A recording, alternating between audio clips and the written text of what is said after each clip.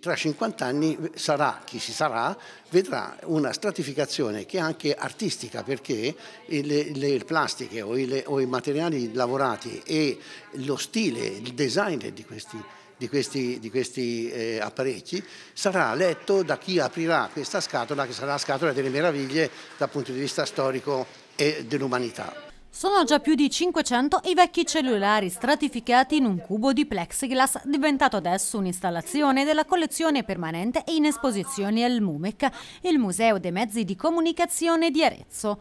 Così si è chiusa Cellulart da Meucci allo smartphone verso un'economia circolare, in collaborazione con il club dell'UNESCO di Arezzo, Firenze e Torino, in occasione delle celebrazioni del World Future Day. Abbiamo puntato il dito proprio su che cosa? Sulla difficoltà, sul problema sociale che questi cellulari che noi cambiamo ogni un anno, due anni, ogni mese, secondo quello che uno vuole, e che creano un, un comporto di, eh, diciamo, di, di, di materiali che sono da recuperare recuperare in tutti i modi, non da buttare nella spazzatura comune, perché creano il problema appunto del, del riuso, del riciclo, del, de, anche dei, dei materiali di, di, cui sono composti questi cellulari. Si parla di 9-10 milioni di, di materiali, di, cellulari che sono nei cassetti delle, delle di tutte le famiglie, nei cassettoni, e che sono in attesa di essere buttati. Obiettivo della mostra è quello di creare un processo di cittadinanza attiva e consapevole sulla tematica ambientale dell'inquinamento relativo all'accumulo inarrestabile di questa tecnologia.